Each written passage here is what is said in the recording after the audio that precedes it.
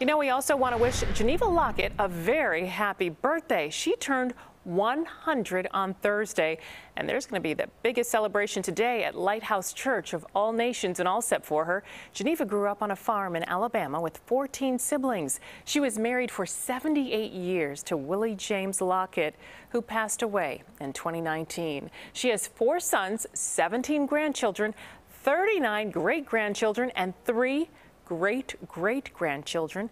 Geneva, we hope you enjoy your very special day.